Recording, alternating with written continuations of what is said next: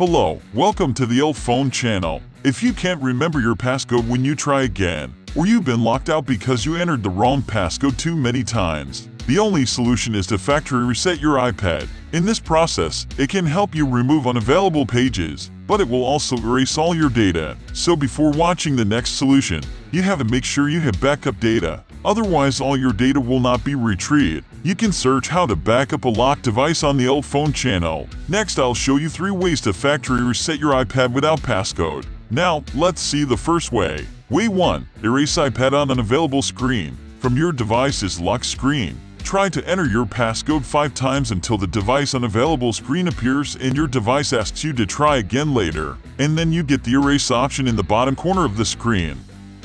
Tap Erase, then tap Erase again to confirm. Enter your Apple ID password to sign out of your Apple ID on your device.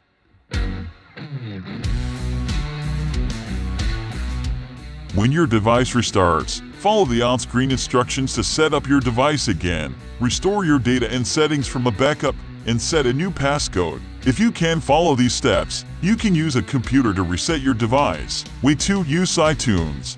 First you have to download and open iTunes on your computer, then connect your iPad to your computer. In order for iTunes to recognize your iPad, we must put it into recovery mode. Generally, you only need to press the volume up, then the volume down, and finally press and hold the power button until the computer screen appears. Then iTunes will show pop-up window instructing you to reset the device. Choose Restore when you see the option to restore or update. Your computer downloads software for your iPad and begins the restore process.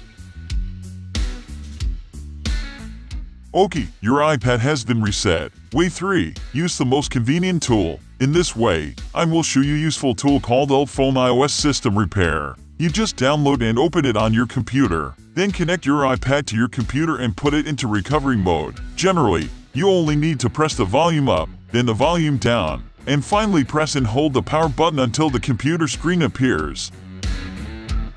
Then switch back to UltFone iOS system repair and click reset device. Then choose the factory reset. Click start reset. Then you just need to wait for it.